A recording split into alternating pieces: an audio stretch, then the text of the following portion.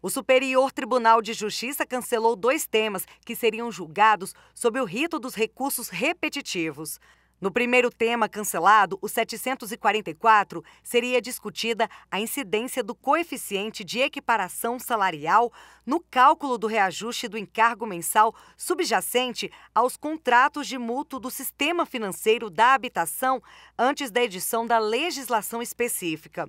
O motivo do cancelamento foi o longo período transcorrido desde a decisão que retirou a afetação do recurso especial 880.026 em 2013, sem a indicação posterior de outro recurso representativo da controvérsia.